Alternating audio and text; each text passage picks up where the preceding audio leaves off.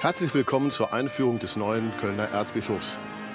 Gerade einmal viereinhalb Monate war das Erzbistum ohne obersten Hirten, als Papst Franziskus am 11. Juli Rainer Maria Kardinal Wölki zum neuen Erzbischof von Köln ernannte. Kardinal Wölki ist hier nicht unbekannt, stammt er doch gebürtig aus Köln und war hier sogar von 2003 bis 2011 Weihbischof. Nach dreijährigem Zwischenspiel in Berlin kehrt er nun in seine Heimat zurück. Man darf sicherlich gespannt sein, welche seelsorglichen Erfahrungen er aus der Bundeshauptstadt mitbringt für seine Tätigkeit hier in Deutschlands größter Diözese. Das heutige Pontifikalamt wird musikalisch gestaltet durch Winfried Bönig und Ulrich Brüggemann an den beiden Orgeln. Es singen der Kölner Domchor, der Mädchenchor am Kölner Dom, die Domkantorei Köln und das Vokalensemble Kölner Dom, begleitet durch Blechbläser der Kölner Dommusik. Die musikalische Gesamtleitung hat Eberhard Metternich.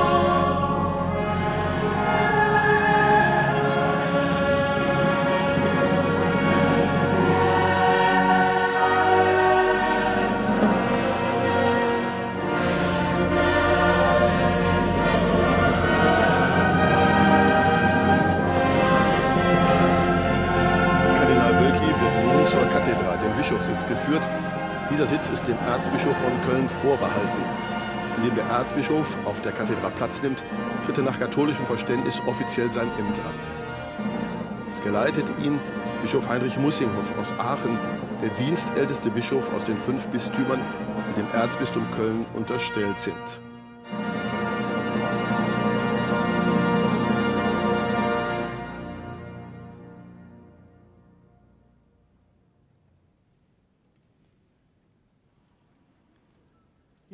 Des Vaters und des Sohnes und des Heiligen Geistes.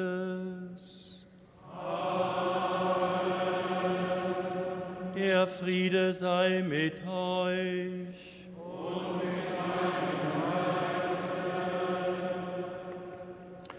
In den Monaten, als der Bischofsstuhl in Köln nicht besetzt war, hat Domkapitular Stefan Heese das Erzbistum verwaltet. Er begrüßt nun den neuen Erzbischof. Schwestern und Brüder, nachdem Papst Franziskus Ende Februar das Rücktrittsgesuch von Kardinal Meissner angenommen hat und das Wahlverfahren stattgefunden hat, dürfen wir heute den 94. Nachfolger des heiligen Marternus, des ersten bekannten Kölner Bischofs, hier in unserem Dom willkommen heißen. Sie haben vielleicht am Domforum das Riesenposter gesehen, mit den vielen Städten und Dörfern aus unserer Diözese und dem Bild des neuen Erzbischofs. Das haben wir in klein und dürfen wir jetzt unserem neuen Erzbischof überreichen. Und lieber Rainer, wir heißen dich hier in Köln, in deiner Heimat heute Morgen ganz herzlich willkommen.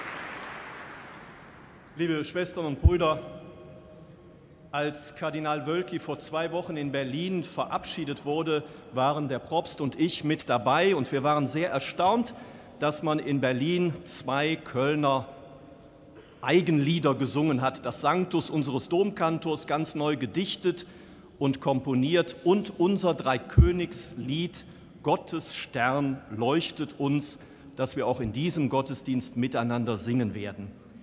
Hier in unserem Kölner Dom verehren wir seit Jahrhunderten, in diesem Jahr sind es 850 Jahre, die Reliquien der heiligen drei Könige. Und von unserem neuen Erzbischof erhoffen wir, dass er wie diese drei mit uns gemeinsam zu Christus pilgert und dabei immer den Stern fest im Blick behält und uns auf diesen Stern immer wieder hinweist. Wir wünschen uns, dass er wie die drei Sterndeuter die richtigen Fragen stellt. Wo ist der neugeborene König der Juden? Und wir hoffen, dass er die Zeichen der Zeit deuten kann, damit wir mit ihm zusammen gemeinsam in die Zukunft der Kirche von Köln weiter hineinpilgern können. Ganz herzlich grüße ich heute Morgen auch natürlich den Vorgänger unseres neuen Erzbischofs Joachim Kardinal Meissner, der in den letzten 25 Jahren mit uns diesen Pilgerweg zusammengegangen ist.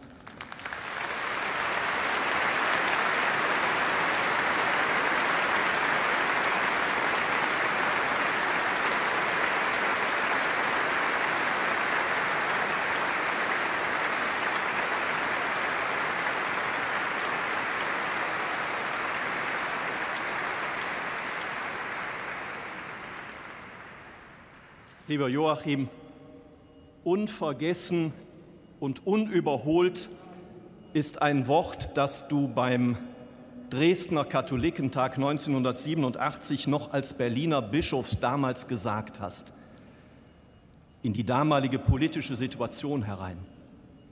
Wir folgen keinem anderen Stern als dem Stern von Bethlehem. Und das hast du uns hier in den letzten 25 Jahren in Köln immer wieder gesagt, aber auch immer wieder vorgelebt. Herzlichen Dank dafür.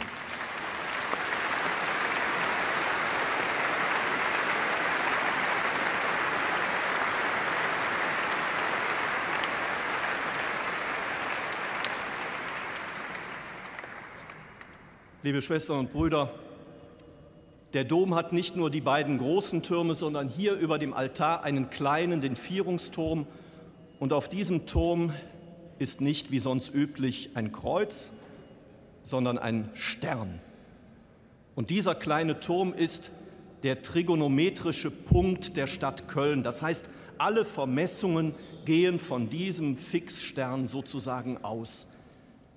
Ich hoffe und wünsche, dass dieser Stern der Bezugspunkt für unseren neuen Erzbischof, für uns alle, für jeden Einzelnen im Erzbistum Köln ist und bleibt. Letztlich der Morgenstern, Jesus Christus, das Licht der Völker schlechthin. Ich freue mich, heute Morgen hier begrüßen zu dürfen den Vertreter des Heiligen Vaters in Deutschland, unseren apostolischen Nuntius, Erzbischof Nikola Eterovic. Herzlich willkommen.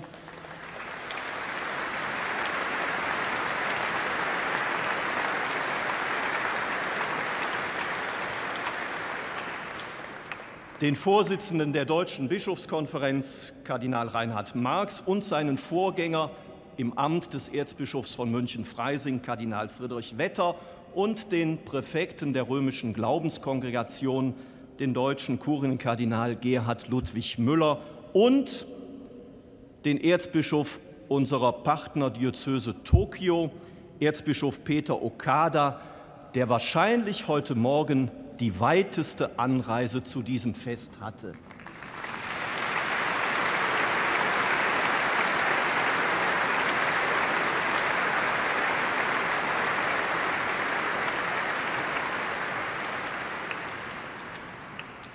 Aus der Ökumene feiern mit uns heute Morgen Präses Manfred Rekowski, Präses Annette Kurschus, der Vikarbischof von Arians und viele Vertreter anderer christlicher Kirchen diesen Gottesdienst. Seien Sie ganz herzlich in unserem Dom willkommen.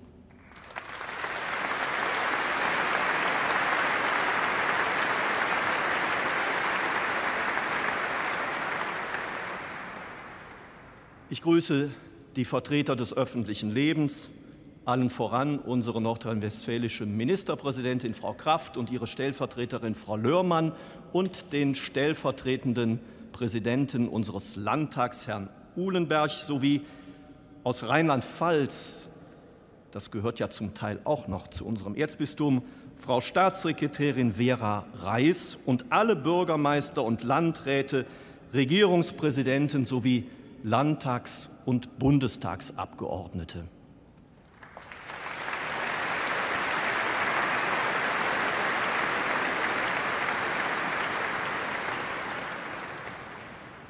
Besonders heiße ich die Familie und die Freunde unseres neuen Erzbischofs willkommen, die sich jetzt sicher darüber freuen, dass er ihnen wieder ein Stück näher gerückt ist.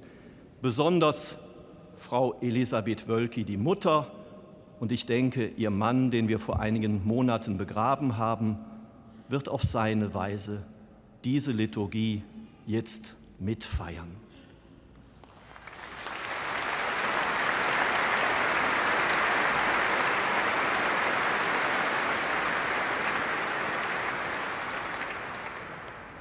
Herzlich grüße ich alle, die unseren neuen Erzbischof begleitet haben auf seinem Weg von Berlin nach Köln, besonders die Vertreter des Berliner Kapitels und die Hedwigsministranten, die heute Morgen mitministrieren.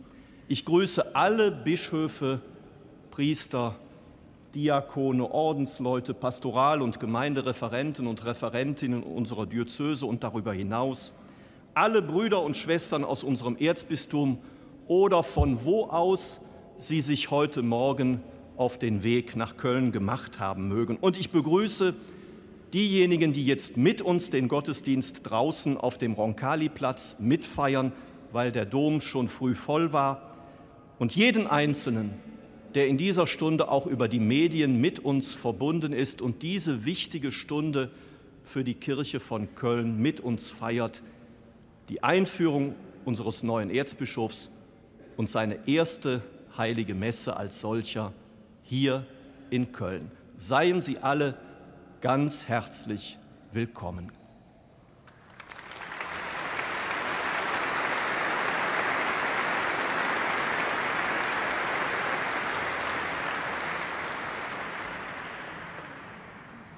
Der Gesandte des Papstes, Nuntius Erzbischof Nikola Eterovic, spricht ein Grußwort und überreicht dann die päpstliche Ernennungsurkunde.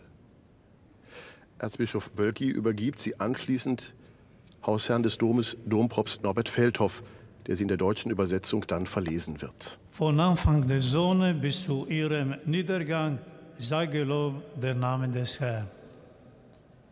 Bei dieser festlichen Feier am Beginn der Mission des neuen Erzbischofs von Köln habe ich die Ehre, mich in dieser mächtigen und staunenswerten Kathedrale an euch zu wenden, liebe Brüder und Schwestern. Ich tue dies im Namen des Heiligen Vaters Franziskus, den ich in der Bundesrepublik Deutschland repräsentiere, bevor die Bulle verlesen wird, mit welcher der Papst nach der Wahl durch das Domkapitel seine Eminenz Rainer Kardinal Welki zum neuen Erzbischof von Kehl ernannt hat und ihn vom Erzbischofs, erzbischöflichen Stuhl in Berlin versetzt.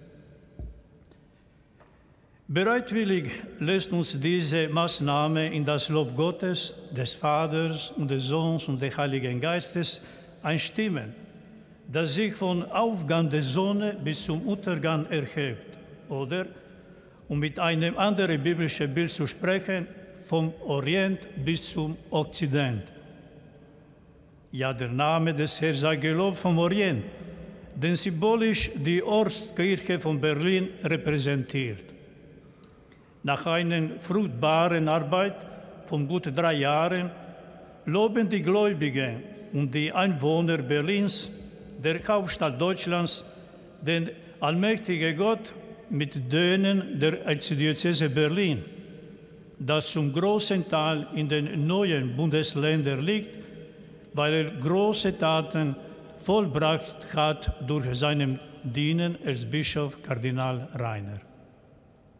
Zu diesem Lob vereinen sich die Gläubigen den Okzident in der alten und erwürdigen Erzdiözese Köln, die voll Vertrauen und mit Freunden und großen Erwartungen einen neuen Anfang erwarten, eine neue pastorale Dynamik durch die Mission ihres neuen Vaters und Hirten. Im Namen von Papst Franziskus, dem Bischof von Rom, erfülle auch ich die Aufgabe, seiner Eminenz Johann Joachim Kardinal Meissner herzlich zu danken für alles das Gute, das er über 25 Jahre im bischöflichen Dienst für die Erzdiözese Köln, für die Kirche in Deutschland und in der Welt getan hat.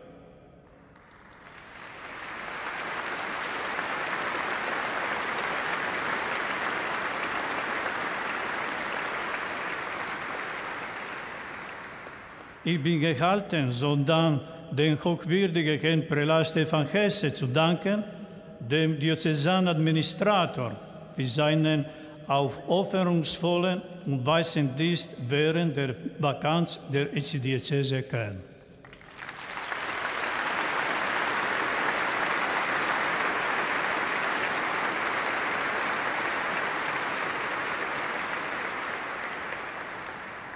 Liebe Brüder und Schwestern, gemeinsam loben wir den guten und barmherzigen Herrn, der seine Kirche nie verlässt, sondern sie führt durch seine Hirten.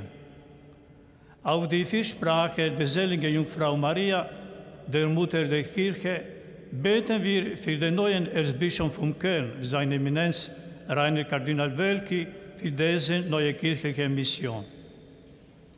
Auch wenn viele und schwere Aufgaben auf ihn warten, so sind wir sicher, dass er die Ostkirche von Berlin nicht vergessen wird. Ebenso wenig die Kirche in der Diaspora in Mitte und Osten Deutschland und ihr mit geistlicher und materieller Unterstützung helfen wird. Auf diese Weise werden die Christen und die Menschen guten Willens mit erneuerter Begeisterung im Osten wie im Westen den Herrn loben, denn gepriesen sei sein herrlicher Name in Ewigkeit. Seine Herrlichkeit erfülle die ganze Erde.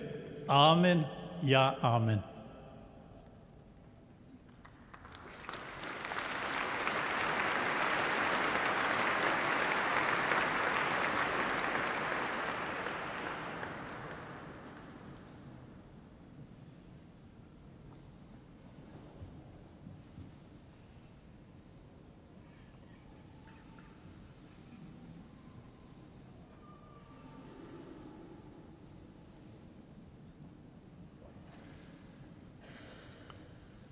Dompropst Norbert Feldhoff hat jetzt die Urkunde in der Hand, die Urkunde zur Ernennung von Rainer Kardinal Wölki zum neuen Erzbischof. Er wird sie gleich verlesen, vorher aber noch dem Domkapitel zeigen und jetzt natürlich auch dem neuen Erzbischof.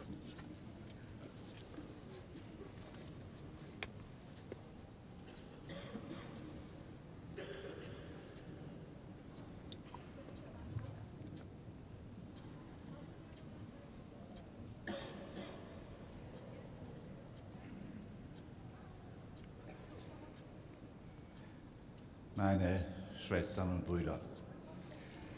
Durch die Präsentation dieser päpstlichen Ernennungsurkunde gegenüber dem Metropolitankapitel, was im Moment geschieht, ist Rainer Maria Kardinal Wölki mit allen Rechten und Pflichten Erzbischof von Köln. Gott segne unseren Erzbischof Rainer.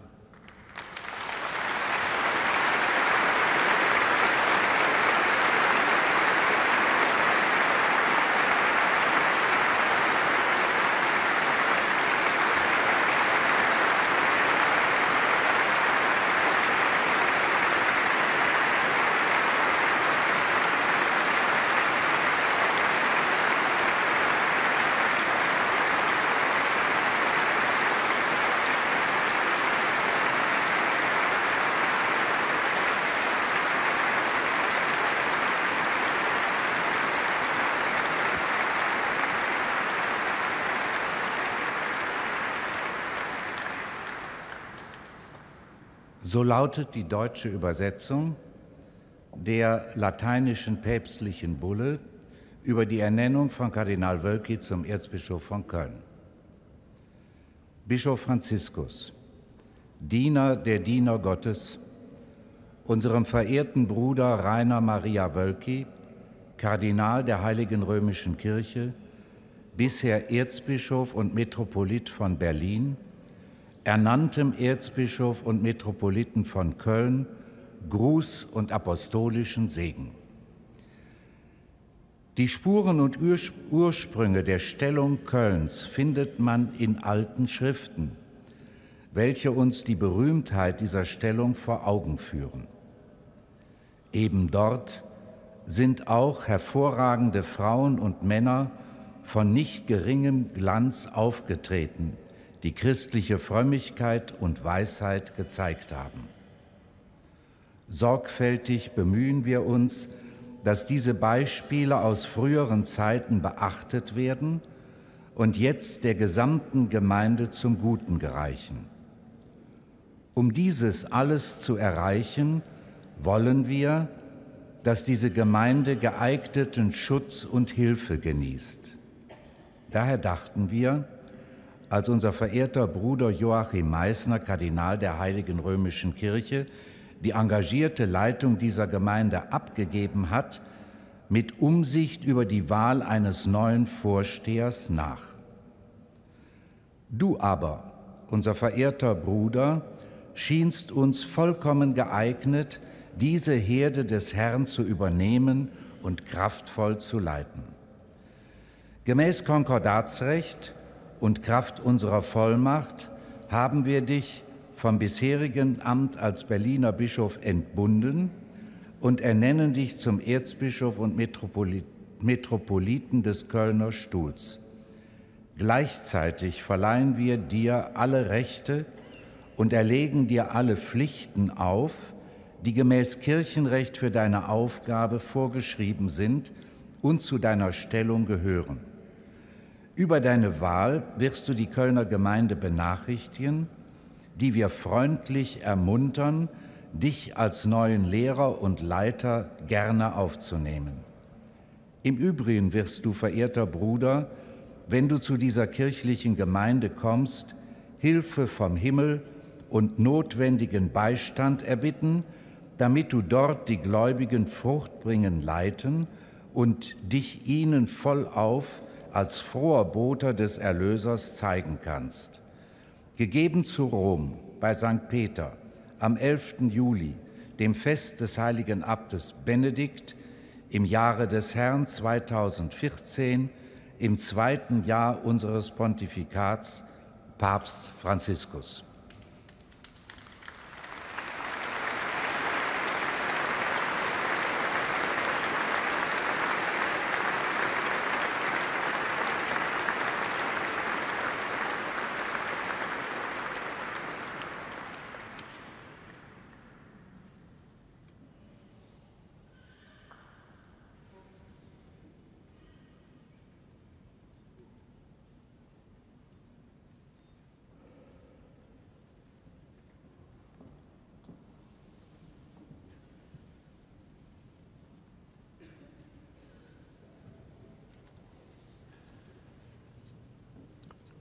Zeichen der Verbundenheit mit Rom überreicht der emeritierte Erzbischof Joachim Kardinal Meissner seinem Nachfolger den sogenannten Petrusstab. Es handelt sich dabei um eine Reliquie.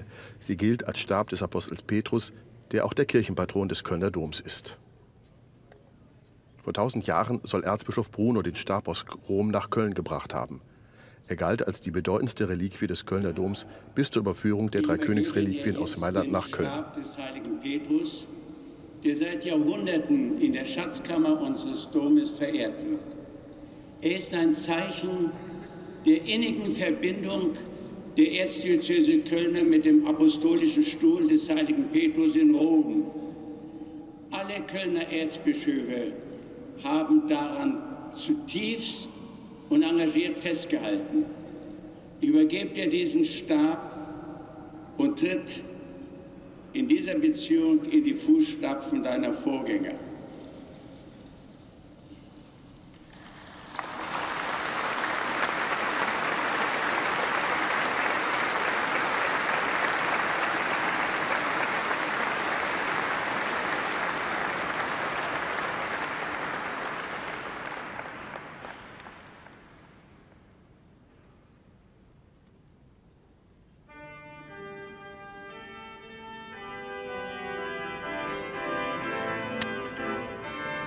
Anwesenden Kardinäle, Erzbischöfe und Diözesanbischöfe der Kölner Kirchenprovinz sowie die Kölner Weihbischöfe treten nun stellvertretend für das Bischofskollegium an die Kathedra und umarmen den neuen Erzbischof.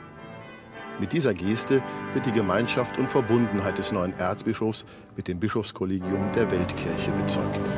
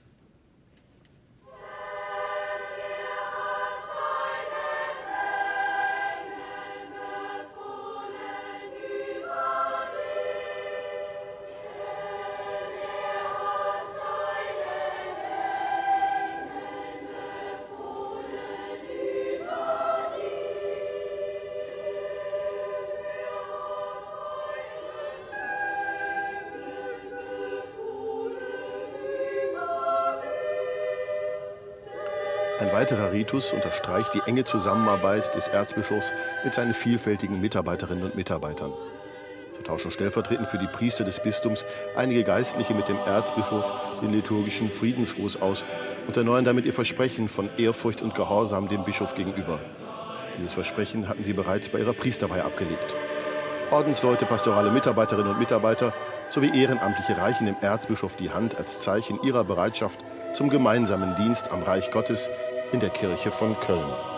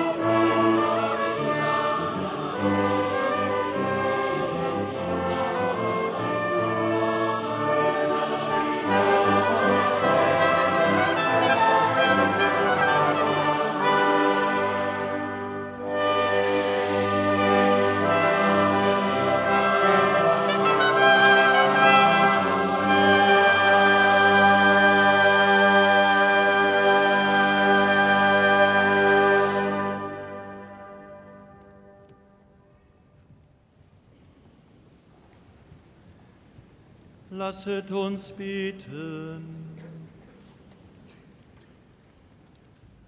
Allmächtiger, ewiger Gott, du bist uns nahe, noch bevor wir zu dir kommen. Du bist bei uns, noch bevor wir uns aufmachen zu dir. Sieh deine Gemeinde, die auf dich schaut. Sieh unsere Sehnsucht nach Glück, unseren Willen zum Guten und unser Versagen. Erbarme dich unserer Armut und Leere, fülle sie mit deinem Leben, mit deinem Glück und mit deiner Liebe. Darum bitten wir durch Jesus Christus, deinen Sohn, unseren Herrn und Gott, der in der Einheit des Heiligen Geistes mit dir lebt und herrscht von Ewigkeit zu Ewigkeit.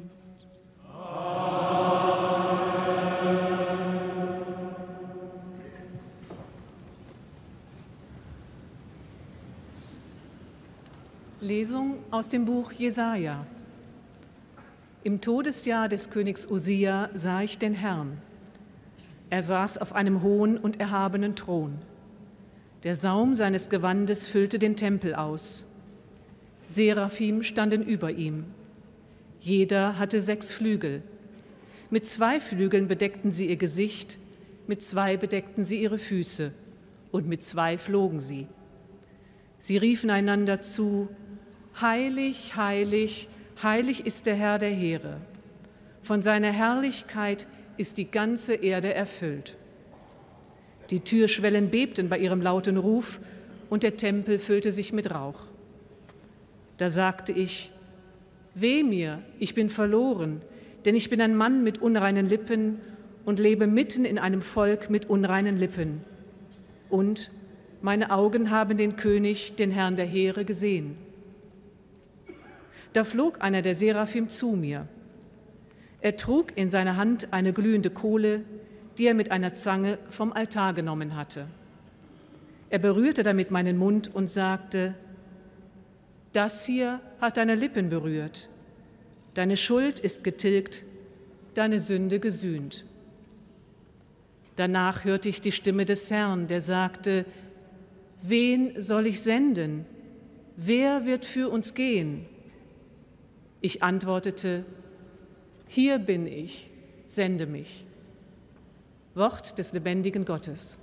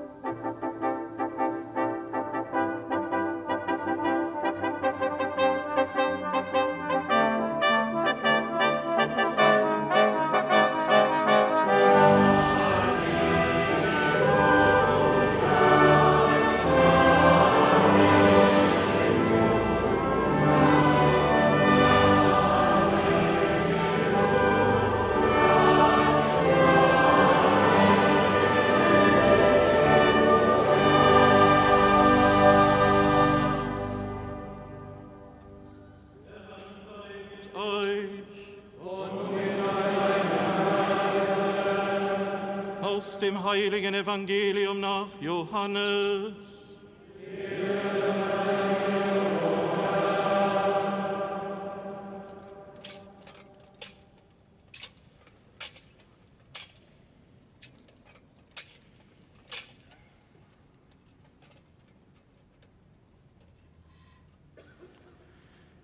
In jener Zeit sprach Jesus, ich bin der gute Hirt.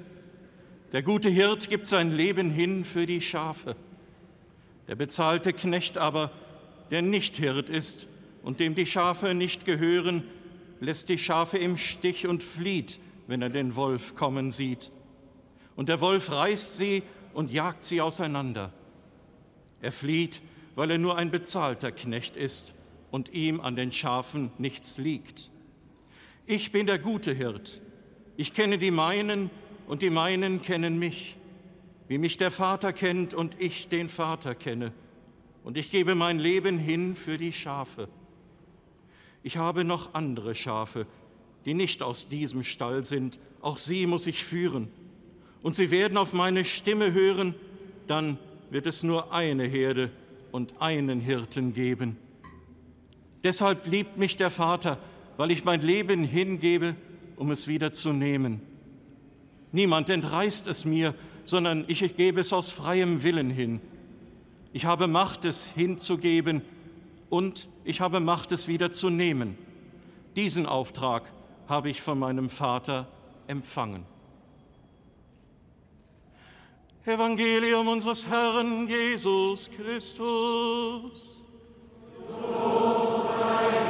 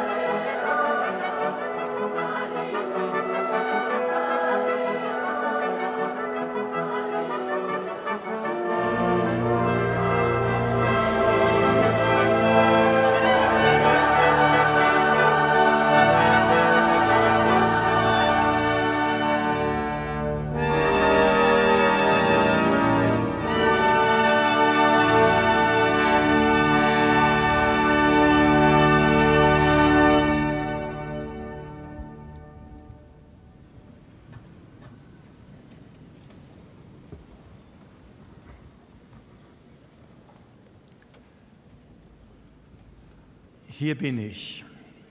So, liebe Schwestern und Brüder, habe ich vor etwas mehr als 29 Jahren das erste Mal in diesem Dom gesagt. Das war damals der Tag meiner Priesterweihe. Hier bin ich. Das habe ich vor gut elfeinhalb Jahren zum zweiten Mal in diesem Dom gesagt. Damals war das der Tag meiner Bischofsweihe. Hier bin ich, so sage ich heute ein drittes Mal.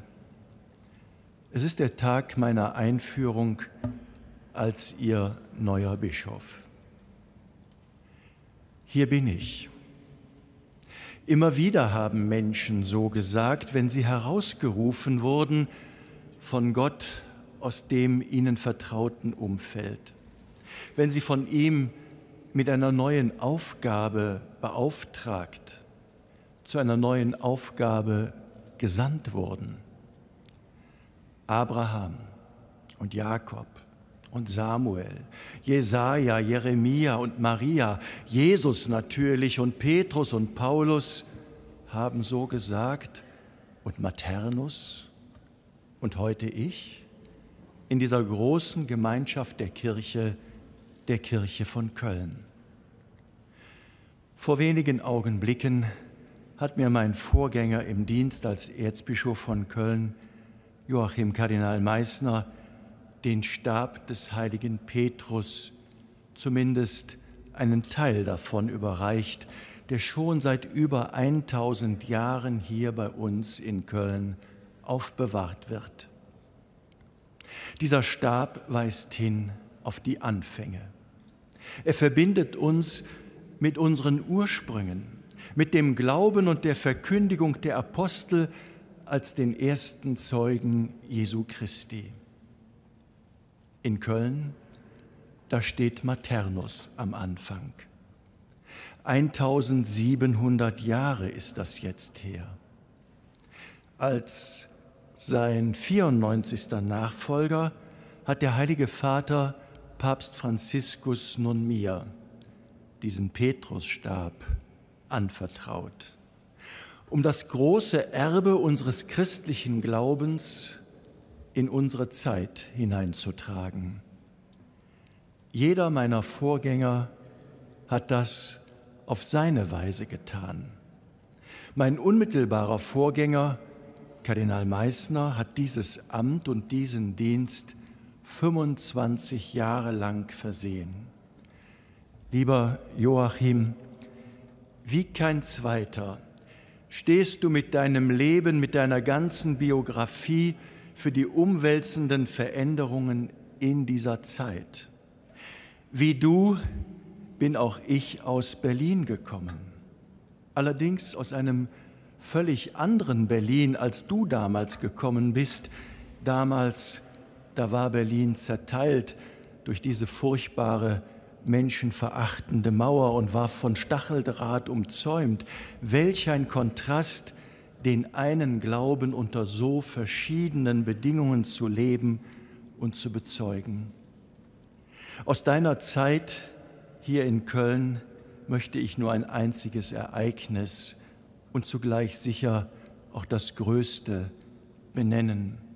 Den Weltjugendtag 2005 mit seinen zwei Päpsten, wie du das immer betont hast, der hat uns damals alle die Ekklesia, die aus allen Völkern zusammengerufene Kirche gezeigt.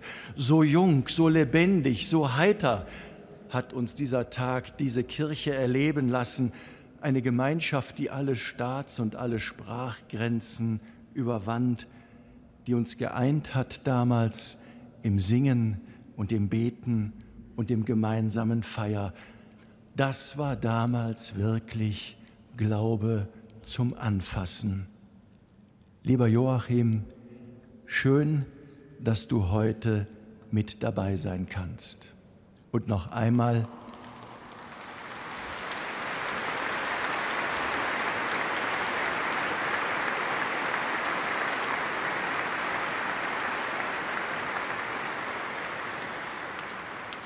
Und noch einmal danke und vergelt's Gott für all dein Mühen und Sorgen.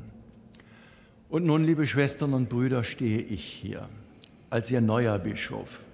Und wenn ich es richtig sehe, nach Josef Kardinal Frings in der Geschichte unseres Bistums überhaupt erst als der zweite Kölner Priester, dem diese Aufgabe übertragen wird. Nicht zuletzt deshalb habe ich wirklich gerne die Idee unseres Domkapitels aufgegriffen, nicht nur den Petrusstab überreicht zu bekommen, sondern in dieser Feier auch den Bischofsstab von Josef Kardinal Frings zu tragen. Das will viel mehr sein als eine bloße Verneigung vor Josef Frings. Das will mehr sein als nur ein Verweis auf unsere gemeinsame Beheimatung hier im Erzbistum Köln. Nein, dieser Stab, der gibt vor allem Auskunft über die Sendung und die Aufgabe eines Bischofs. Und damit er die nicht aus den Augen verliert und ich als ihr neuer Bischof das auch nicht tue, deshalb hat sich Kardinal Frings diese Aufgabe in seinem Stab gewissermaßen immer vor Augen gestellt. Die Mitte der Krümme seines Stabes, die zeigt uns den Herrn als den guten Hirten. Aber der ist nicht allein. Da ist noch ein anderer zu sehen. Orpheus, den sieht man da noch. Und die beiden stehen Rücken an Rücken. Orpheus mit seiner Lyra. Was soll das denn, wird sich vielleicht mancher von Ihnen fragen.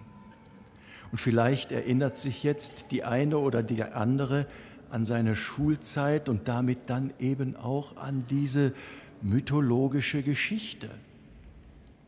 Die erzählt nämlich, dass dieser Orpheus verliebt war.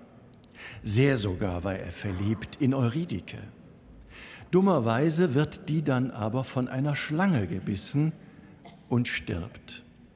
Der Tod trennt die beiden Liebenden. Orpheus hält den Schmerz kaum aus. Er kommt einfach nicht über den Verlust hinweg, den Verlust seiner Geliebten. Und er macht sich deshalb auf den Weg in die Totenwelt mit seiner Lyra. Dank seines Liedes und seiner Lyra kommt er an Cerberus vorbei, der den Sterblichen den Zugang zur Unterwelt verwehrt, und er steht dann endlich vor Hades und Persephone, die dort unten herrschen. Die beiden, die sind dann wirklich so berührt von der Liebe des Orpheus, dass sie schließlich zustimmen, dass er seine geliebte Eurydike in das Land des Lebens, in das Land des Lachens, des Glücks, in das Land der Liebe zurückführen darf. Allerdings ein kleines Problem, eine kleine Auflage, die es zu erfüllen gilt, eigentlich gar nicht schwer. Orpheus darf sich auf dem langen Weg in die Oberwelt zurück nicht umdrehen, darf nicht zurückschauen auf Eurydike. Kein Problem, denkt er. Und er geht und er geht und geht. Und Eurydike folgt und folgt, wie ein Schatten folgt sie ihm und der Weg ist lang, unendlich lang ist dieser Weg und mit einem Mal ist es Orpheus so, als höre er ihre Schritte nicht mehr. Er nimmt sie nicht mehr wahr, diese Schritte.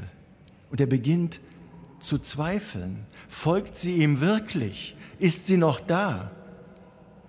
Und er dreht sich um und verliert Eurydike auf ewig. Was für eine Tragik. Der Tod scheint stärker als die Liebe. Der Tod scheint die Liebe zu besiegen und sie zu töten.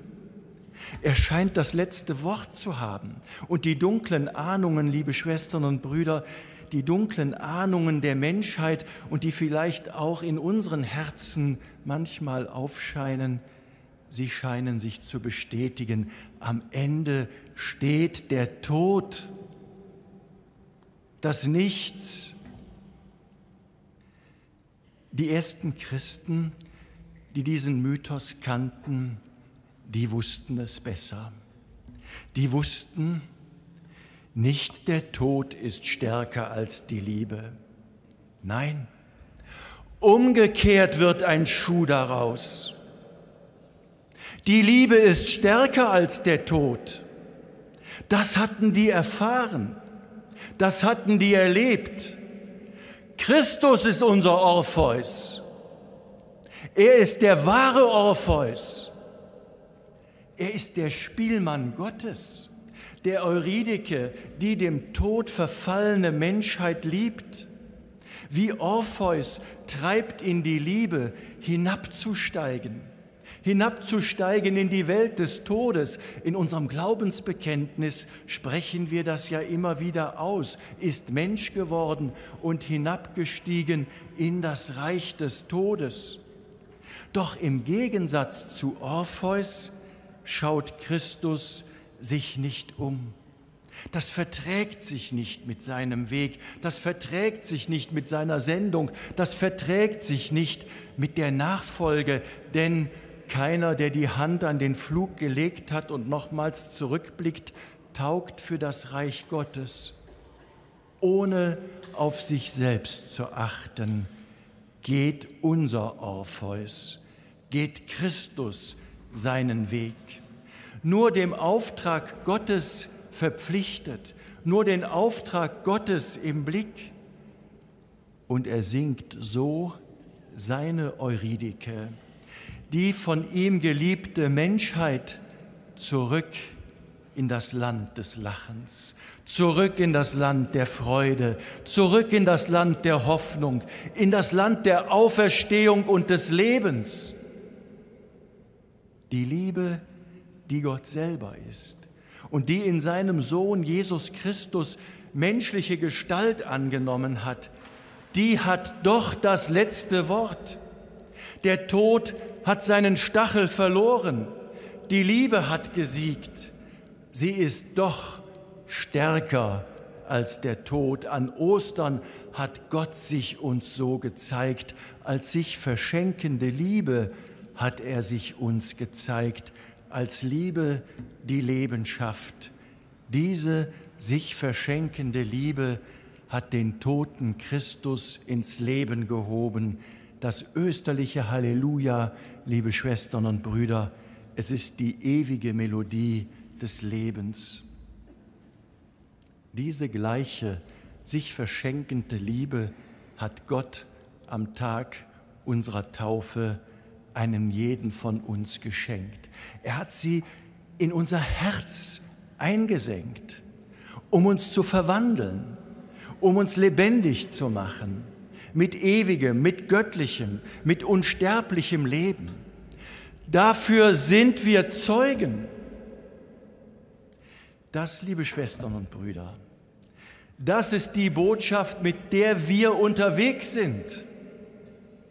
Das ist das Evangelium Gottes, die wirklich frohmachende Botschaft, die für einen jeden von uns bestimmt ist. Eine Botschaft, die nicht erst am Ende unseres Lebens Bedeutung gewinnt, denn dieses Evangelium Gottes, das will schon jetzt, das will im Heute gelebt und bezeugt werden im Alltag eines jeden von uns als Christ, im Alltag unserer Gemeinden, im Alltag unseres Bistums, dass Gott die Liebe ist, die Leben schafft.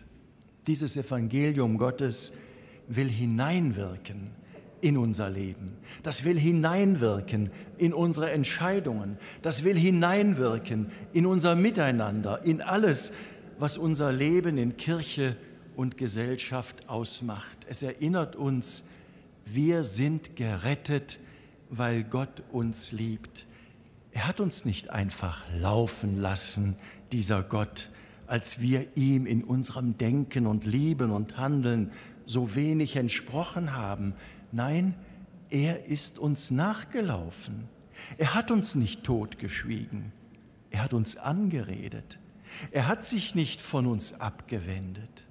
Er hat sich uns vielmehr zugewendet. Er ist uns entgegengekommen, persönlich in seinem Sohn Jesus Christus von sich aus, einem jeden von uns. Und deshalb, liebe Schwestern und Brüder, können wir auch nicht mehr fragen, ob ein Mensch unsere Zuneigung, ob ein Mensch unsere Liebe verdient. Wir können nur noch fragen, ob der die braucht. Denn Gott denkt immer vom Menschen her. Das haben wir als Kirche Jesu Christi heute zu bezeugen. Wir dürfen einen Menschen nicht mehr bloß nach dem beurteilen, was er getan hat und was er tut, sondern wir müssen ihn danach beurteilen, wer er ist. Und wer ist er? Er ist ein Ebenbild Gottes, von ihm gewollt, von ihm gelebt, von ihm geliebt und erlöst. So kostbar ist ein jeder von uns für Gott. An diese urchristliche Botschaft erinnert uns der Bischofsstab von Josef Kardinal Frings. Mich als ihren neuen Bischof an erster Stelle, der ich ja, wie Petrus bei der Wahl des Matthias fordert, ein Zeuge der Auferstehung zu sein habe. Zeuge der Auferstehung zu sein, das heißt, Christus und seinem Evangelium heute ein Gesicht zu geben. Und das, liebe Schwestern und Brüder, das kann ich nicht allein. Und deshalb bitte ich Sie, lassen Sie mich hier auch nicht allein. Denn Christsein, das kann ich nur zusammen mit Ihnen, damit ich dann auch für Sie Bischof sein kann. Gott hat eine jede und einen jeden von uns als Getaufte und als Gefirmte mit seinen Gaben, mit den Gaben des Heiligen Geistes beschenkt. Wir alle sind reich beschenkt, aber keiner von uns hat diese Gaben von Gott nur für sich allein erhalten. Sie sind ihm auch nicht gegeben zur Selbstdarstellung oder gar zur Profilierung von irgendwelchen persönlichen Eitelkeiten. Der Geist, er hat sie uns gegeben, damit sie einem einzigen Ziel dienen, dem Aufbau des Leibes Christi, dem Aufbau der Kirche. Liebe Schwestern, liebe Brüder, wir gedenken in diesem Jahr der Übertragung der Gebeine der heiligen drei Könige vor 850 Jahren in unsere Stadt. Wie einst die Weisen aus dem Morgenland, so sind wir heute eingeladen, uns auf den Weg zu machen. Christus als die menschgewordene Liebe Gottes, die ewiges Leben schafft, zu bezeugen. Wir sind berufen und gesandt, ihm heute ein Gesicht zu geben. Machen wir uns dazu gemeinsam auf den Weg, voller Hoffnung, voller Mut, voller Vertrauen, voller Zutrauen, ganz einfach deshalb, weil der Herr in einen jeden von uns sein Vertrauen setzt. Und bringen Sie bitte auch in Zukunft Ihre Talente und Fähigkeiten und Gaben ein, damit dieser unser gemeinsamer Weg getragen ist von wechselseitigem Zuhören, von gegenseitigem Verstehen, von Zusammenarbeit und einem wirklich geschwisterlichen Geist, der eine jede und einen jeden achtet, auf dass Gott in allem verherrlicht werde. Amen.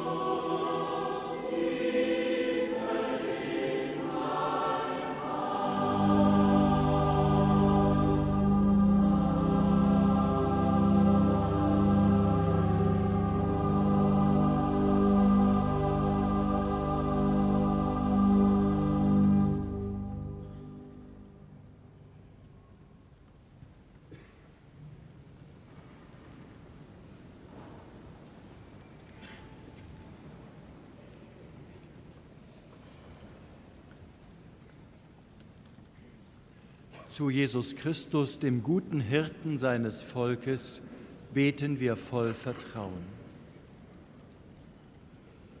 Durch das Wirken des ersten Bischofs Maternus hast du der Kirche von Köln deine Hirtensorge geschenkt. Steh dem 94. Nachfolger des heiligen Maternus, unserem neuen Erzbischof Rainer bei, das Erzbistum Köln mit Weisheit, Entscheidungskraft und der notwendigen Gelassenheit zu leiten.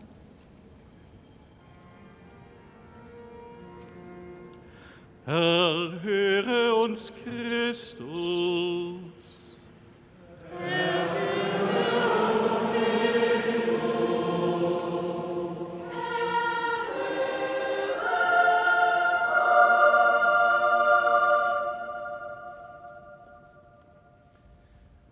Das Erzbistum Köln steht seit jeher in engster Beziehung mit dem Heiligen Vater und wird traditionell als treueste Tochter Roms bezeichnet. Maintient notre archidiocèse en communion étroite avec le pape, avec son diocèse partenaire de Tokyo, ainsi qu'avec l'Église tout entière, et permet que son engagement écuménique porte du fruit en abondance.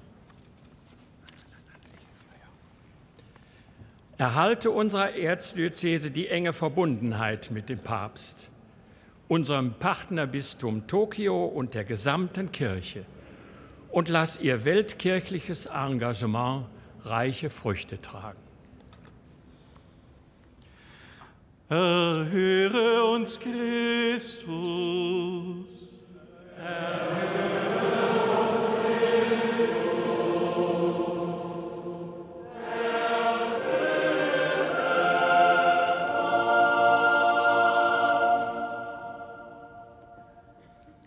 Kardinal Wölki ist durch das lebendige Vorbild seiner Familie und seiner Heimatpfarrei St. Bruder Klaus in Köln-Mühlheim in den Glauben hineingewachsen. Stärke die Eheleute, Familien und Gemeinden in ihrer Sendung, Zeugen des Glaubens und des Evangeliums zu sein. Und rufe auch heute junge Menschen in deine besondere Nachfolge. Erhöre uns Christus.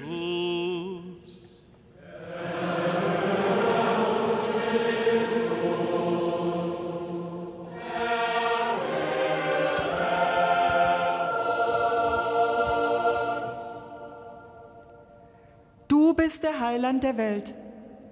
Dir vertrauen wir alle Menschen an, deren Alltag von Sorgen und Not geprägt ist.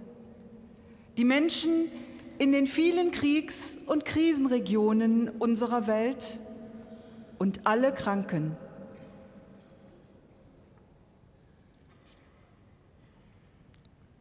Wir beten auch für unsere Verstorbenen und denken dabei besonders an die Bischöfe, die unser Erzbistum durch die Jahrhunderte gelenkt haben, an die verstorbenen Angehörigen unseres neuen Erzbischofs Rainer und an alle, die uns Glauben und Beten gelehrt haben. Erhöre uns Christus.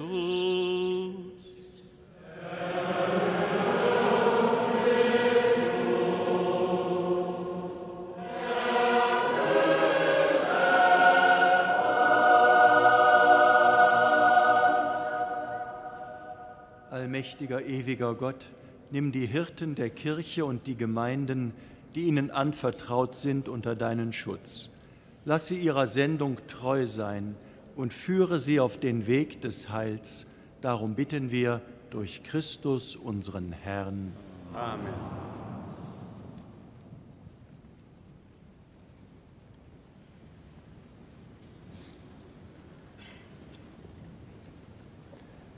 Vertreterinnen und Vertreter aus den drei Pastoralbezirken des Erzbistums und der internationalen Seelsorge im Bistum Köln bringen nun Gaben an den Altar, die Erzbischof Wölki entgegennimmt. Wir bringen auf der Hauptstadt, Düsseldorfer Senf und eine CD der Toten Hosen mit dem Titel An Tagen wie diesen.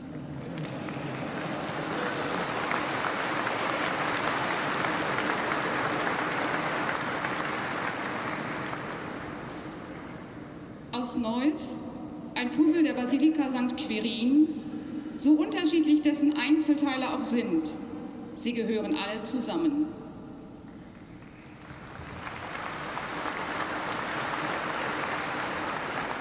Aus Wuppertal einen Hammer, damit der Erzbischof auch weiter den Nagel auf den Kopf trifft, Schwebebahnnudeln für den Selbstversorgerhaushalt und einen Fuchs aus Stoff. Das ist das Symboltier des ökumenischen Kinderhospizes, das zurzeit am Stadtrand von Wuppertal entsteht.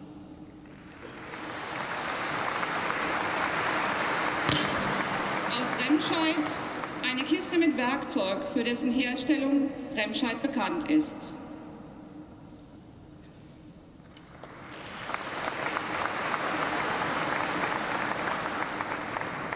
Aus dem Kreis Mettmann eine Wallfahrtskerze aus dem Mariendom in Neviges.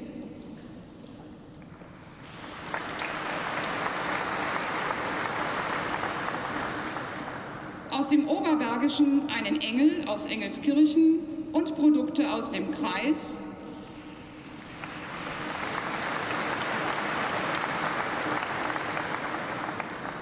Und aus der Klingenstadt Solingen Messer, auf dessen Klinge der Stadtpatron mit dem Anker für unseren Stadtpatron, den heiligen Clemens, abgebildet ist, sowie ein Segenswunsch für unseren neuen Erzbischof steht.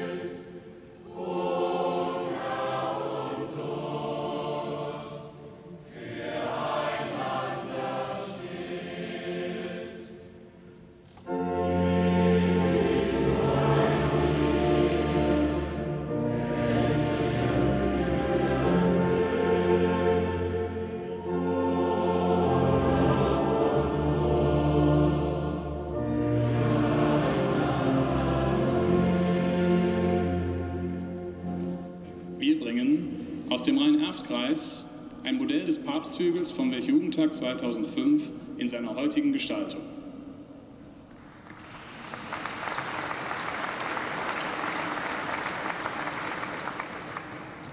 Aus Leverkusen eine Großpackung eines bekannten Schmerzmedikamentes und einen Fanschal von Bayer Leverkusen.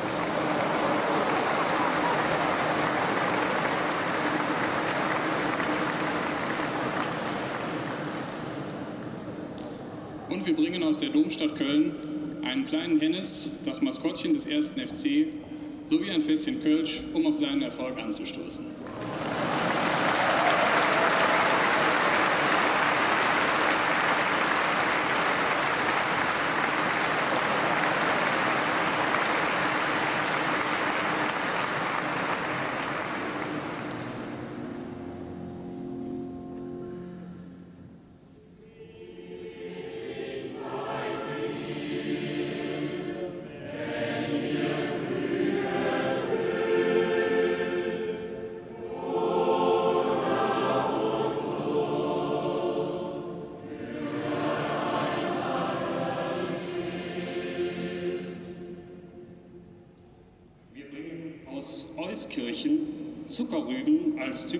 Pflanzen der Voreifel und Zucker.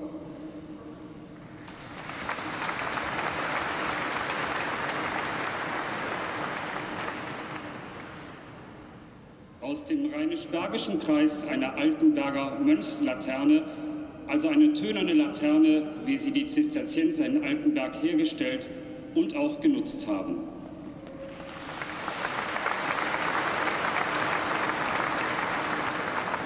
Aus dem Kreis Altenkirchen Westerwälder Brot, Wurst und Schnaps.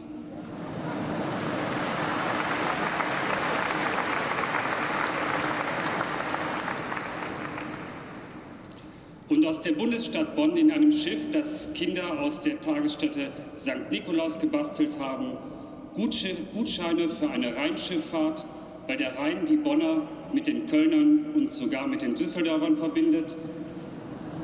Außerdem natürlich Fruchtgummi aus Bonn und Gutscheine für ein Mittagessen in der Kostbar, einem Projekt zur Förderung arbeitsloser Menschen.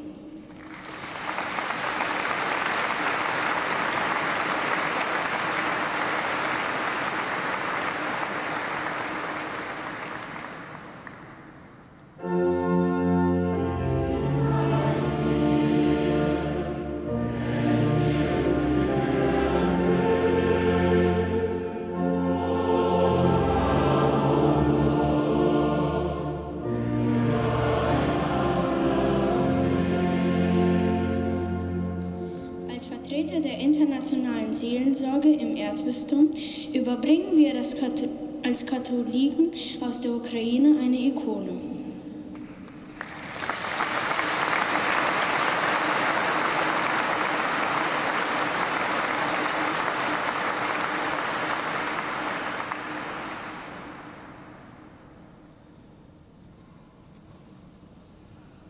Katholiken aus dem Irak übergeben dem Erzbischof das Vaterunser auf Aramäisch.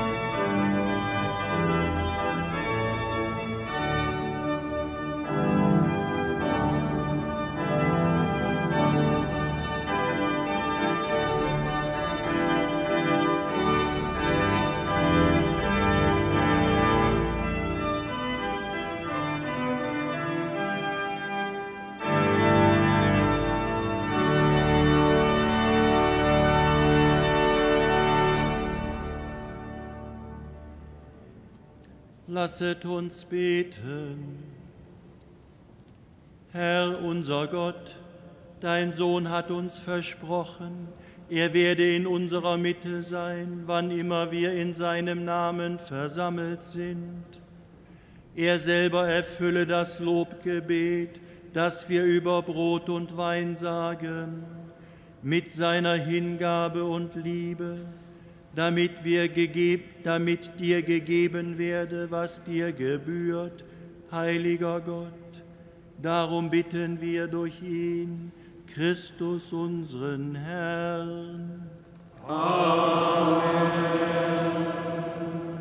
Der Herr sei mit euch. Und mit deinem Geiste. Erhebet die Herzen. Wir Lasset uns danken dem Herrn, unserem Gott. Das ist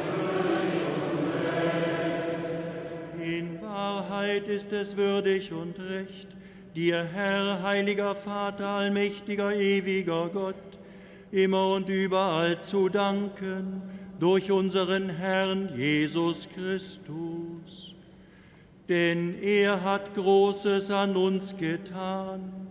Durch seinen Tod und seine Auferstehung hat er uns von der Sünde und von der Knechtschaft des Todes befreit und zur Herrlichkeit des neuen Lebens berufen.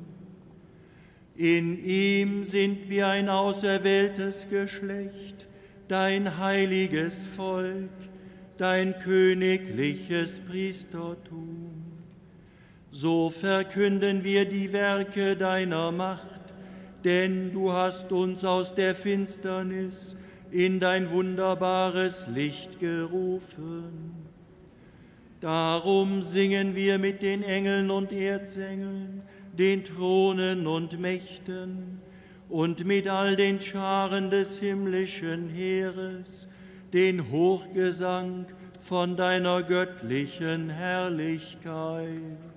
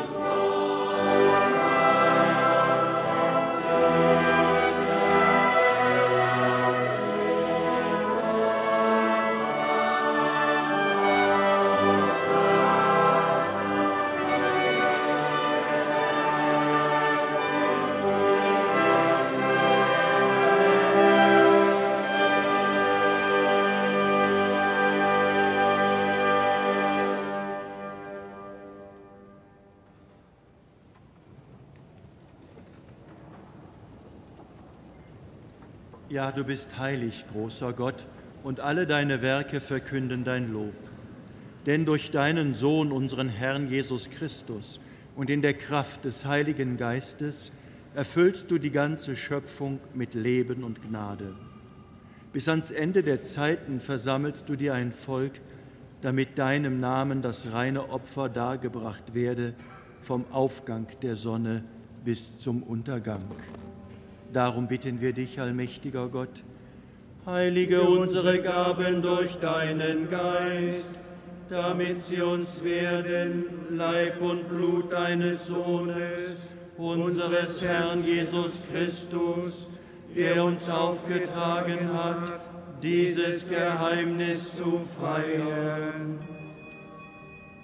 Denn in der Nacht, da er verraten wurde, nahm er das Brot und sagte Dank, brach es, reichte es seinen Jüngern und sprach, Nehmet und esset alle davon, das ist mein Leib, der für euch hingegeben wird.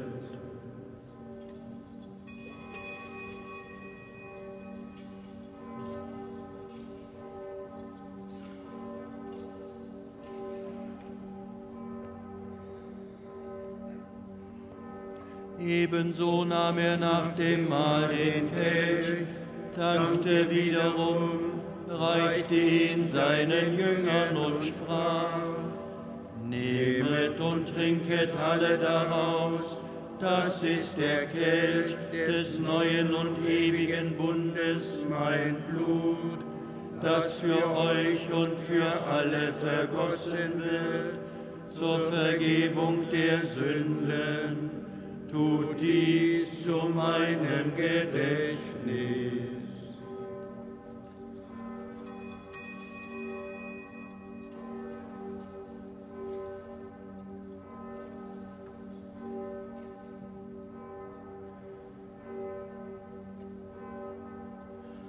Geheimnis des Glaubens.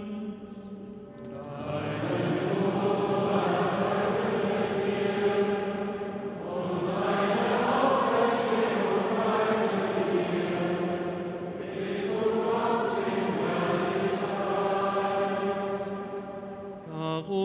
Gütiger Vater, feiern wir das Gedächtnis deines Sohnes. Wir verkünden sein heilbringendes Leiden, seine glorreiche Auferstehung und Himmelfahrt und erwarten seine Wiederkunft. So bringen wir dir mit Lob und Dank dieses heilige und lebendige Opfer dar Schau gütig auf die Gabe deiner Kirche, denn sie stellt dir das Lamm vor Augen, das geopfert wurde und uns nach deinem Willen mit ihr versöhnt hat. Stärke uns durch den Leib und das Blut deines Sohnes und erfülle uns mit seinem Heiligen Geist, damit wir ein Leib und ein Geist werden in Christus. Er mache uns auf immer zu einer Gabe, die wir vollgefüllt, damit wir das verheißene Erbe erlangen mit deinen Auserwählten, mit der seligen Jungfrau und Gottesmutter Maria, mit deinen Aposteln und Märtyrern und mit allen Heiligen, auf deren Fürsprache wir vertrauen. Barmherziger Gott, wir bitten dich, dieses Opfer unserer Versöhnung, bringe der ganzen Welt Frieden und Heil. Beschütze deine Kirche auf ihrem Weg durch die Zeit und stärke sie im Glauben und in der Liebe.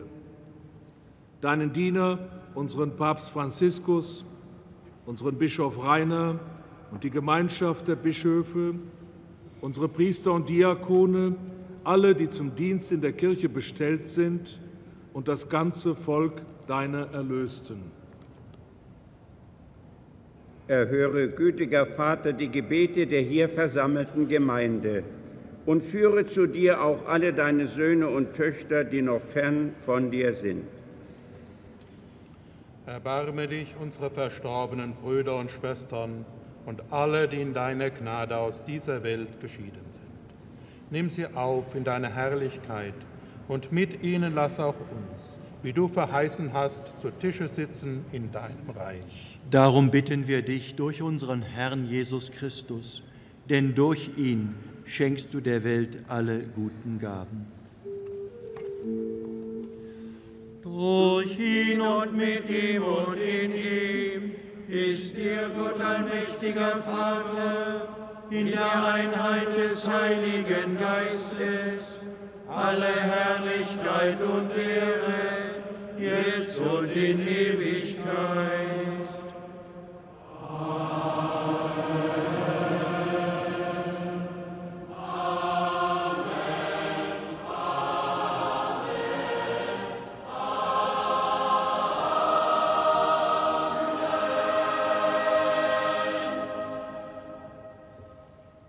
Dem Wort unseres Herrn und Erlösers gehorsam und getreu seiner göttlichen Weisung, wagen wir zu rufen. Vater unser im Himmel, geheiligt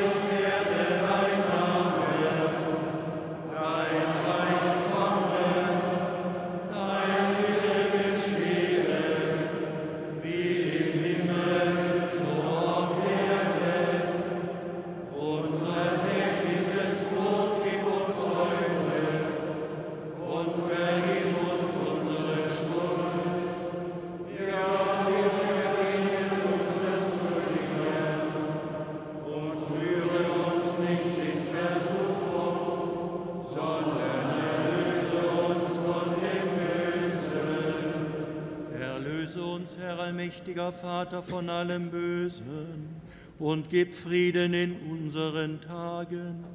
Komm uns zu Hilfe mit deinem Erbarmen und bewahre uns vor Verwirrung und Sünde, damit wir voll Zuversicht das Kommen unseres Erlösers, Jesus Christus, erwarten.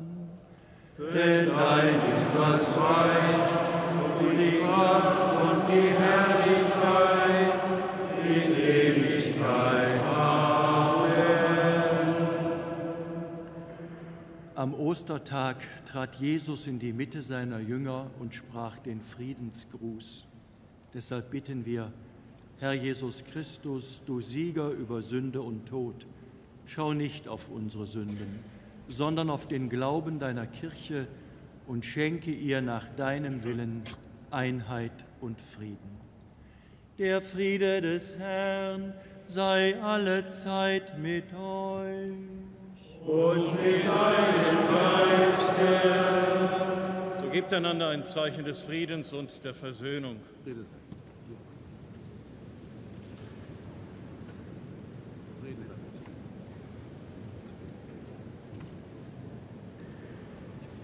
mit mir.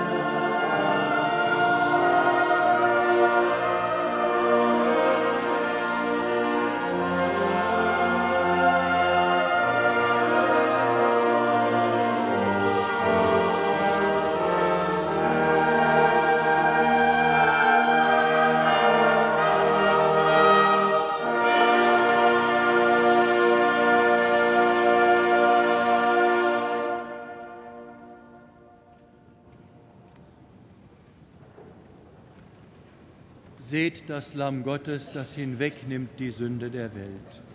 Herr, ich bin nicht würdig, dass du eingeht unter mein Dach, aber sprich nur ein Wort, so wird meine Seele gesund.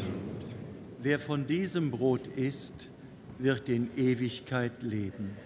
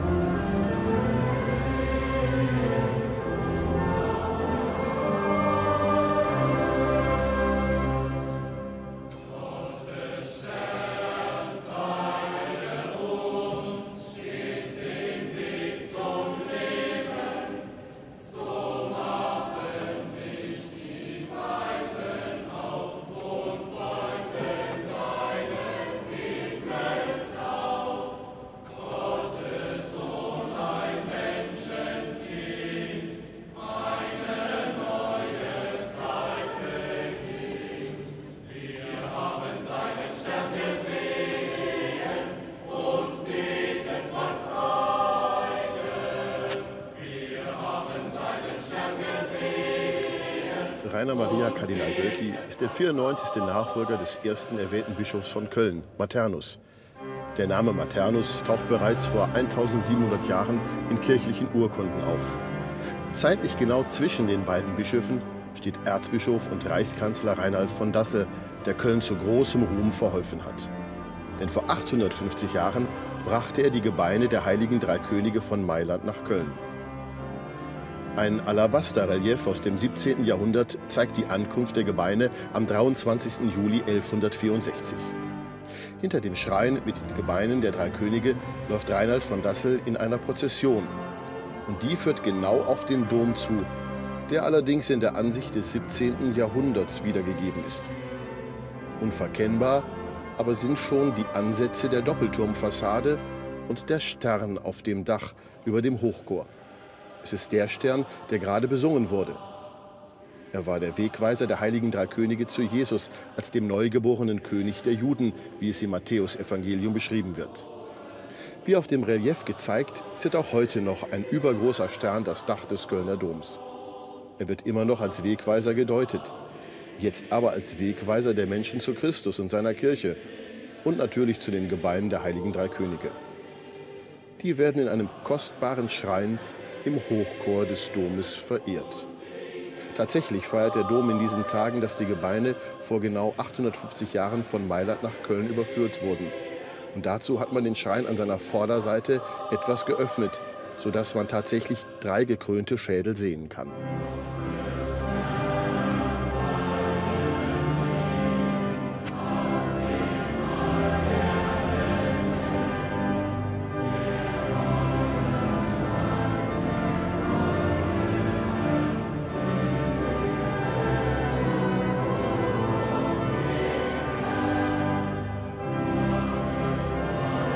Unzählige Male sind die heiligen drei Könige im Kölner Dom dargestellt, als Bilder auf Altären und in den Glasfenstern oder als Skulpturen. Sie sind fast immer gekleidet in kostbare Gewänder mit Kronen auf dem Kopf und reichen Geschenken in den Händen. Eigentlich ist im Matthäusevangelium nur von Sterndeutern die Rede, die aus dem Osten nach Jerusalem gekommen waren und den neugeborenen König der Juden suchten. Als sie ihn im Stall von Bethlehem gefunden hatten, verehrten sie ihn und brachten ihm Gold, Weihrauch und Myrrhe als Geschenke dar. Die Theologen haben aber etwa das Geschehen schon bald gedeutet und mit Verheißungen aus dem Alten Testament verbunden. So hat man aus der Anzahl der Geschenke auf die Zahl der Sterndeuter geschlossen, und das waren drei. Die Art der drei Geschenke wurde dann mit der Bedeutung Jesu in Verbindung gebracht. Das Gold galt als Zeichen für seine Königswürde, der Weihrauch für seine Göttlichkeit und die heilbringende Salbe der Myrrhe als Hinweis auf seine erlösende Heilstat am Kreuz. Weil im Alten Testament verheißen worden war, es würden einmal Könige aus fernen Ländern kommen und Geschenke zu einem anderen König bringen, sah man das in den Dreien erfüllt. So wurden die Sterndeuter als genau diese Könige identifiziert und schon bald mit Königskronen dargestellt. Weiter verband man mit den heiligen drei Königen auch drei Lebensalter, die Jugend, den Erwachsenen und den Greis, um so zu zeigen, dass alle Generationen sich auf den Weg zu Christus gemacht hatten. Außerdem sollten sie die damals bekannte Welt repräsentieren. Das waren Europa, Asien und Afrika, weswegen einer der drei mit dunkler Hautfarbe dargestellt wurde.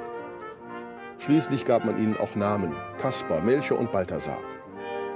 Eine Legende erzählt übrigens, dass die heiligen drei Könige auf Schiffen wieder in ihre Heimat, in den Osten, zurückgekehrt seien.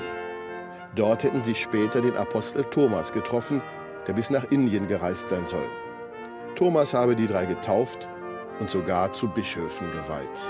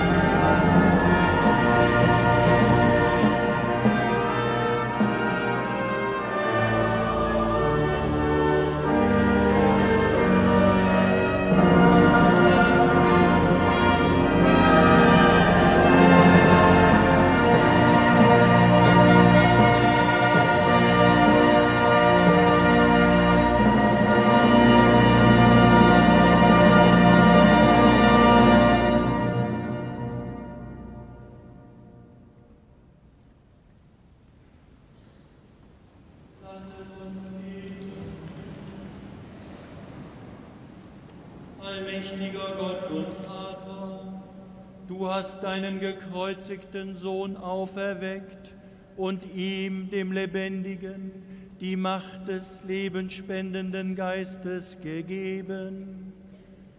Nimm dich deiner Kirche an, o Herr, und erneuere ihre Jugend. Lass sie aufleben durch den Geist, dessen Zeichen das Feuer ist. Darum bitten wir durch Christus unseren Herrn.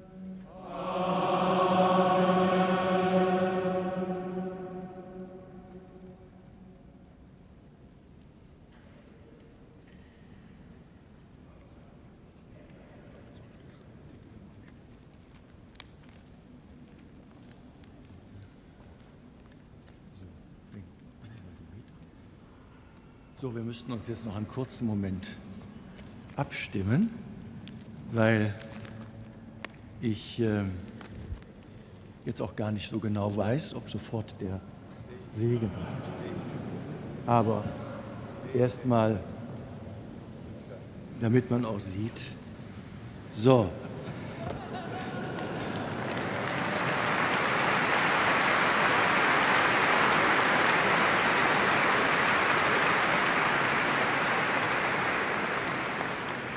wer vornehm sein will, kommt mit Hut. Nicht? Ja, liebe Schwestern und Brüder, jetzt haben wir so lang gefeiert und jetzt soll ich auch noch kurz etwas sagen. Ich fasse das kurz zusammen in einem Wort. Danke. Mehr kann ich eigentlich gar nicht sagen. Danke, dass Sie heute Morgen alle hierher gekommen sind.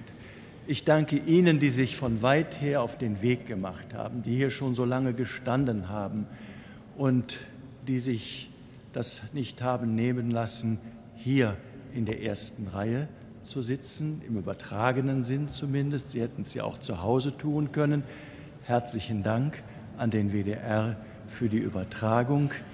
Ich danke den Mitbrüdern, den Mitbrüdern, den Kardinälen, die hierher gekommen sind, allen anderen bischöflichen Mitbrüdern, den vielen Priestern, den Schwestern und Brüdern aus der Ökumene, Ihnen liebe Frau Ministerpräsidentin, Frau Lörmann, Frau Staatssekretärinnen und alle anderen, Herrn Oberbürgermeister Rother sehe ich und alle anderen, die aus Politik und Gesellschaft und Wirtschaft auch heute hierher gekommen sind, um mitzufeiern. Ich bin froh, dass wir das in einer solch großen Gemeinschaft tun konnten und das, glaube ich, hat uns heute Morgen doch alle spüren lassen, dass wir als Christen gar nicht so wenige sind, sondern dass wir uns gegenseitig stärken und stützen und tragen müssen und dass wir dann auch für unsere Gesellschaft, für die Welt von Bedeutung sind. Wir leben, liebe Schwestern und Brüder, nicht ein Christentum hinter geschlossenen Türen. Die Kirche ist keine geschlossene Gesellschaft, sondern unser Auftrag ist es, hinauszugehen in alle Bereiche von Kirche und Gesellschaft. Wie der Papst sagt, an die Ränder der Gesellschaft, in die Mitte der Gesellschaft. Es gibt keinen Bereich, wo wir als Christen nicht gefordert wären mit dem, was uns das Evangelium aufträgt. Und da haben wir eine ungeheuer große Sendung und Berufung und die möchte ich gerne gemeinsam mit Ihnen leben und gestalten. Ich danke den Berlinern, die gekommen sind, nicht nur den Mitbrüdern aus dem Domkapitel, den Domvikaren, den Domministranten, sondern auch all den anderen, die ich gesehen habe, die den weiten Weg auf sich genommen haben. Ich habe heute besonders auch an das Erzbistum Berlin gedacht und an die Menschen, die ich da zurücklassen musste. Sie werden immer auch einen Platz in meinem Herzen haben. Ich danke von dieser Stelle auch noch einmal ausdrücklich dafür, was ich in diesen vergangenen drei Jahren dort erlebt und erfahren habe und dass Sie so treu auch mir zur Seite gestanden sind. Ich danke meiner Familie, meinen Freunden, für die langjährige Begleitung und jetzt einfach nur auf ein gutes Miteinander auf eine gute Weggemeinschaft in Vertrauen zueinander und füreinander. In den vergangenen Wochen bin ich dann schon mehrfach gefragt worden, wer denn hier Aufgaben im Bistum übernehmen wird. Ich habe gesagt, das gehört zu meinem bestgehütesten Geheimnis. Wer sie hören will, der muss heute hier in den Dom kommen oder am anderen Tag die Zeitung lesen. Ich werde es jetzt also lüften. Der neue Generalvikar wird auch der alte sein, Prälat Stefan Hese,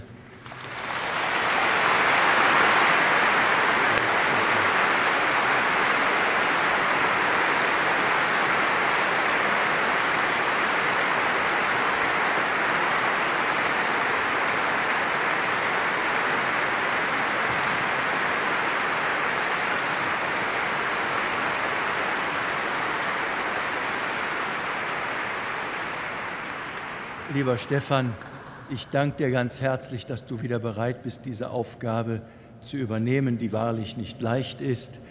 Und ich danke dir von Herzen für die Zeit als Diözesanadministrator, wo du mit Geschick und einem guten Wort für die Menschen, für die Diözese, deren Geschicke geleitet und, geleitet und geführt hast. Danke und auf ein gutes Miteinander.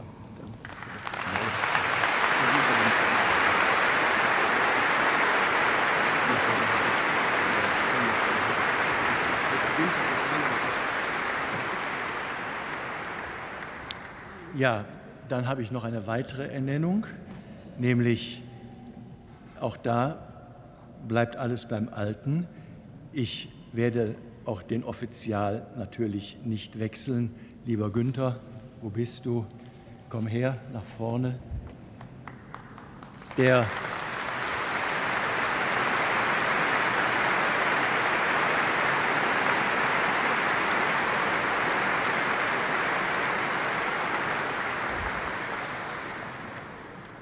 Prälaten Assenmacher. Er macht das seit vielen, vielen Jahren zu einer ganz großen und treuen Zuverlässigkeit. Lieber Günther, herzlichen Glückwunsch und danke, dass du das.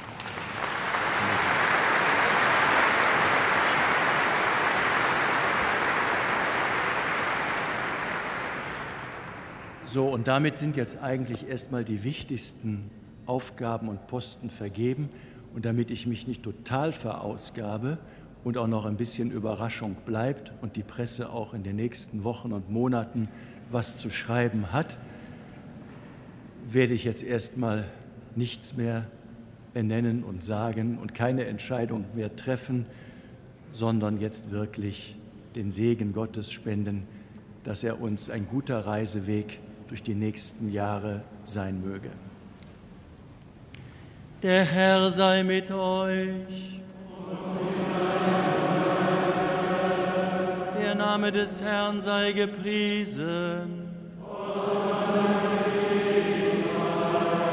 Unsere Hilfe ist im Namen des Herrn. So segne und behüte euch der dreieinige Gott, der Vater und der Sohn und der Heilige Geist. Amen.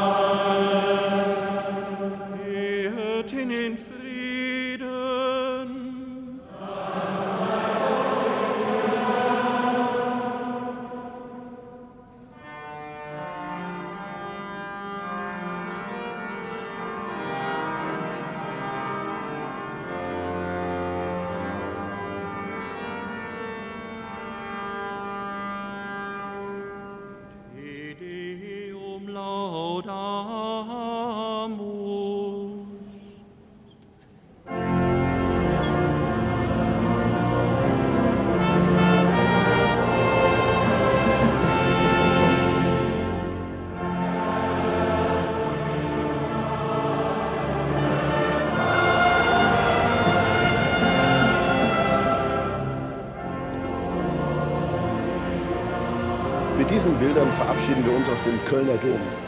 In der kommenden Woche wird der neue Erzbischof bereits eine nächste große Feier hier im Kölner Dom eröffnen. Vom 25. bis zum 28. September findet nämlich die Domwallfahrt statt, aus Anlass der Überführung der Gebeine der heiligen drei Könige aus Mailand nach Köln vor 850 Jahren. Dazu und zu allen neuen Tätigkeiten im Erzbistum Köln sei Rainer Maria Kardinal Wölki an dieser Stelle Gottes Segen und alles Gute gewünscht. Ihnen allen, liebe Zuschauerinnen und Zuschauer, noch ein schönes Wochenende. Dem Roncalli-Platz auf der Südseite des Domes findet jetzt ein Fest der Begegnung mit dem neuen Erzbischof statt. Dazu gebe ich jetzt ab an meinen Kollegen Christian David. Vielen Dank, Pater Philipp. Und es steht fest, der neue Erzbischof von Köln ist Rainer Maria Kardinal Wölki. Und äh, mit ihm kommt ein ganz neuer Stil daher. Natürlich die Amtseinführung im Dom, die haben Sie gesehen vor drei, dreieinhalbtausend Menschen. Aber auch die Feier, die hier draußen weitergeht. Und gucken Sie sich das mal an, was hier draußen auf dem Roncalli-Platz auf der Südseite des Kölner Doms los ist. Vorsichtige Schätzungen sagen, es sind schon so zwei bis 3.000 Menschen, die hier den Weg gefunden haben. Und viele von ihnen haben tatsächlich auch sich den Gottesdienst hier draußen angesehen. Und jetzt freuen sich eine ganze Reihe dieser Menschen auf Suppe, auf Würstchen und auf Freibier. Denn Rainer Maria Kardinal Wölki hat im Vorfeld gesagt, ich möchte mit dem ganzen Volk feiern. Und das wird er gleich auch tun. Nach Ende des Gottesdienstes wird er sich in der Sakristei umziehen, wird hier rauskommen auf die Bühne, wird selbstverständlich zu den Menschen hier sprechen und wird sicherlich auch das ein oder andere persönliche Gespräch hier draußen führen. So haben wir ihn bislang ja schon kennengelernt. Wir fragen mal nach, wie der Gottesdienst, wie die Predigt denn so ankam.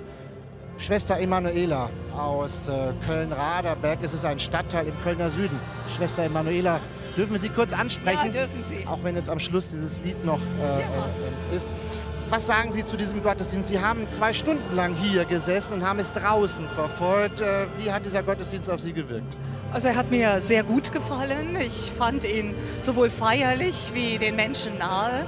In einer guten Mischung zwischen Tradition und was Lebendige, Modernen, auch ein Public Viewing. Ne? Also ich hab, bin ganz bewusst draußen geblieben. Ich wollte bei den Menschen sein und das mal aus der Perspektive erleben. Und es hat mir gut gefallen. Welchen Eindruck haben Sie vom neuen Erzbischof von Köln, von Rainer Maria Kardinal Wölki?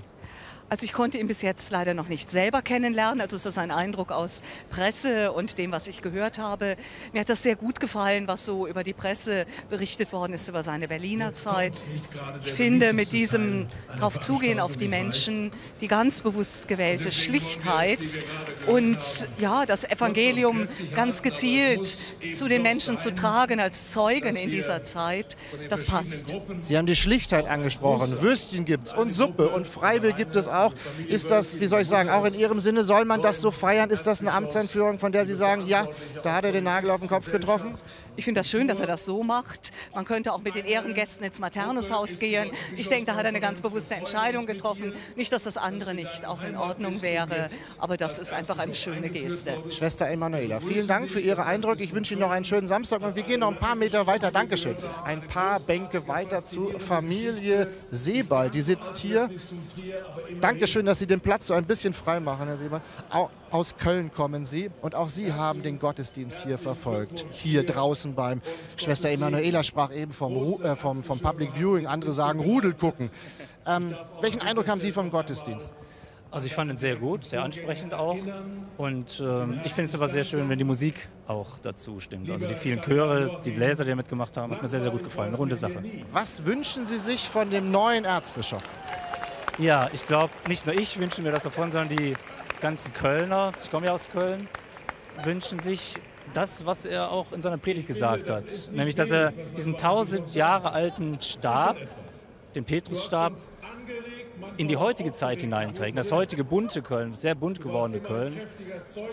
Und da wirklich keine Gruppen am Rand lässt, wie es auch gerade am Schluss noch gesagt hat. Das ist, glaube ich, ganz wichtig.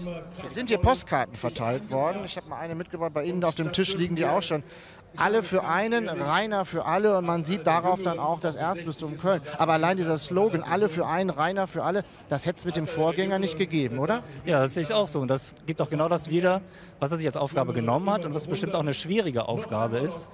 Und eine Aufgabe, die ähm, allen Kölnern und nicht nur den Kölnern, ich denke auch der ganzen Kirche gut tun wird. Wie geht es heute noch weiter? Für Sie persönlich? Wir werden das schöne Wetter hier noch genießen Und ich habe gehört, es gibt auch Freibier. das werden wir dann auch genießen. Also, das, also es wird ein schöner Tag heute auf jeden Fall.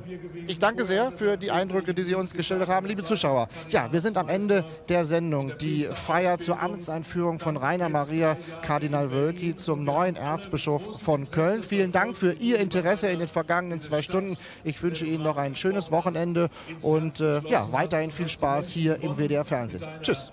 Bereitschaft, an die Grenzen zu gehen, Grenzen zu überwinden, Brücken zu bauen. Äh, das ist etwas, was, glaube ich, für Berlin ganz, ganz wichtig war. Und wir haben gespürt, wie traurig die Menschen sind. Wir können das nachvollziehen. Und umso mehr freuen sich jetzt die Kölner.